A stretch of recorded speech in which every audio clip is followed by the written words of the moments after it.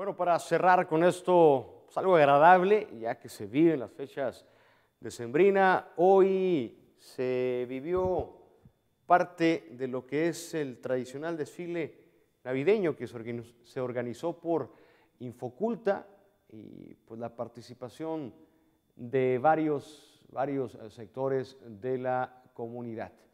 Eh, esto marca el inicio de pues lo que es ya las fiestas de sembrinas escuelas, eh, jovencitas, bastoneros, duendes, eh, una gran cantidad también de Santo Claus. Fue parte de lo que se vivió por las principales calles o por la calle principal de Nogales. Carros alegóricos también. Esto es parte de lo que a las 6 de la tarde dio inicio ya en el centro de la ciudad. Recorrió lo que es la avenida Álvaro Obregón hasta llegar hasta lo que es cerca del estadio de béisbol y pues bastante gente.